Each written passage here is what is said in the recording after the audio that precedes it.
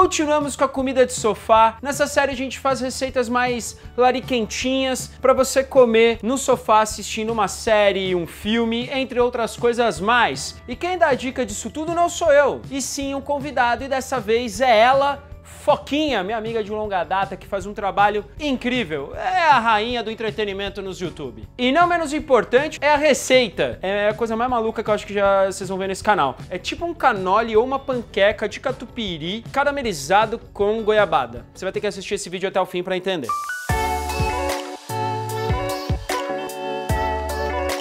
Belo dia eu estava vendo o Instagram de um amigo meu, o Celinho, que tem o Instagram Caverilson. Sigam esse Instagram que é muito divertido. E aí, eu vi ele fazendo uma panqueca de catupiry. Ele pegava muito catupiry, colocava na frigideira, derretia, caramelizava. Era uma coisa meio louca. Aí eu fui testar e fiz uma coisa semelhante. E eu vou mostrar para vocês Agora, primeiro passo, catupiry. E, gente, é isso aí, balada. Eu não vou ficar falando requeijão cremoso. É catupiry. Pode ser algum outro requeijão cremoso de outra marca? Claro que pode. Pode ser um requeijão mais tradicional? Não testei, mas eu acredito que funciona também. Faz em casa, testa e me marca no Instagram que aí eu vou saber. Frigideira fria.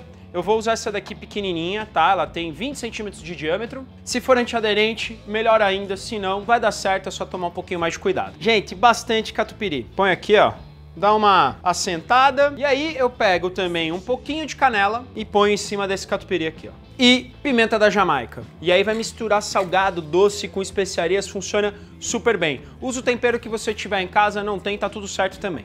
Fogo médio e aí é só esquecer. Vai demorar de 5 a 10 minutos. Isso aqui vai derreter, vai soltar gordura, vai caramelizar, enfim. Depois do meu papo com a Foquinha, que eu vou chamar lá agora, eu vou mostrar pra vocês como é que fica e vocês vão entender porque a gente vai soltar um time-lapse bonitão. Pra você que não sabe o que é time-lapse, Ribas, explica.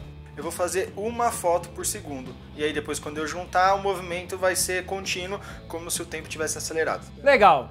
Foquinha, me atende, por favor, amore. Olá, internet! No canal dela, ela fala do mundo dos famosos, cinema, música e também ela tem um podcast com o André Brandt que se chama Donos da Razão. Bem-vinda, Foquinha. Ah, obrigada, adorei. Já aproveitem e se inscrevam no canal da Foquinha, tá? Sigam ela nas redes sociais também. Aliás, tem collab de Foquinha aqui, ó. Nossa! A gente fazendo manteiga, foi maravilhoso. Tem collab minha também na Foquinha. Nossa. Tem muito vídeo no meu canal também. Tem um vídeo de você comendo papinha. E também tem o Twister, né? A gente bêbado jogando Twister.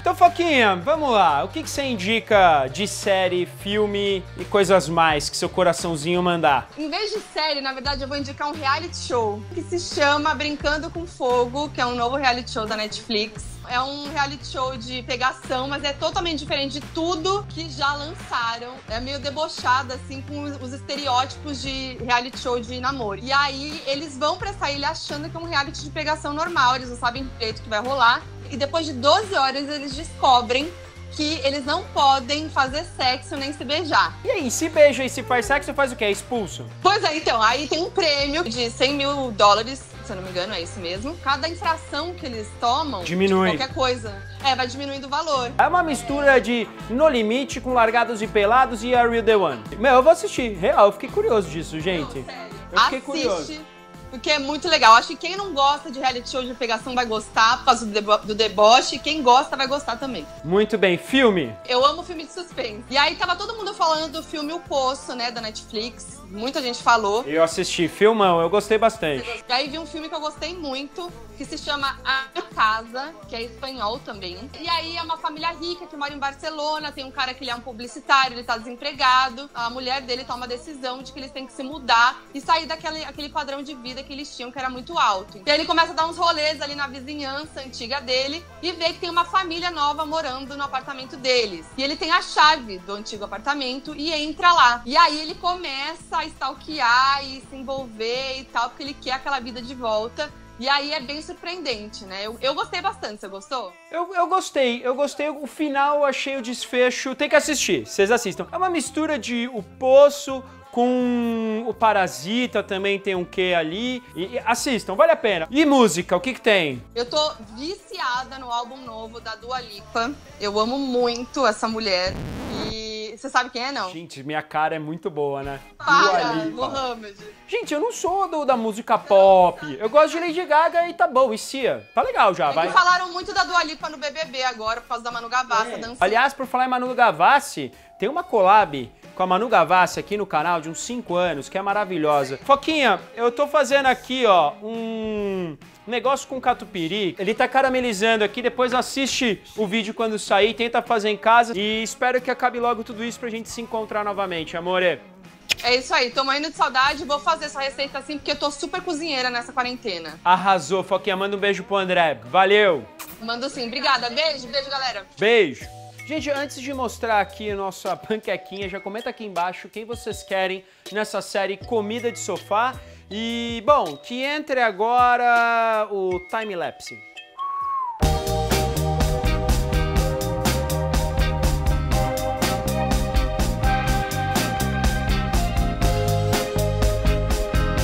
Ele derrete, começa a soltar bastante gordura, frita nele mesmo, começa a caramelizar e aí ele fica assim, desse jeitinho, tá? Esse excesso de gordura a gente tira. Ai, Mohamed, que nojento, não sei o que.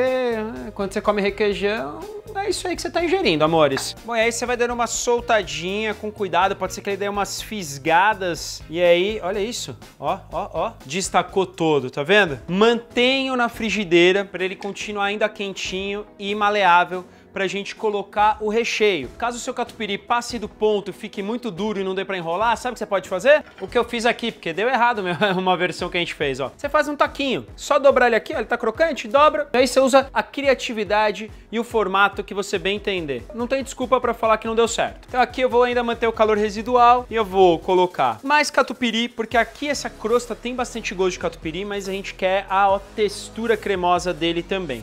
Eu dou uma espalhada nele. Mas pode ser também requeijão, ricota, o que você quiser. Goiabada, a minha pedaçuda. Pode ser a cascão também, você solta ela com um pouquinho de água na panela, ela fica mais cremosa e fácil de rechear. Aí termina com uma raspinha de limão para dar um frescorzinho. Se quiser, pode até pôr umas gotinhas também. Agora sim eu venho com cuidado, tiro da frigideira e vou enrolar. Olha isso. Ai, que receita maravilhosa, juro. Olha isso. Velho, eu não acredito que fizemos isso. E agora eu vou entabuar e que entre as imagens bonitas dessa sobremesa, no mínimo inusitada.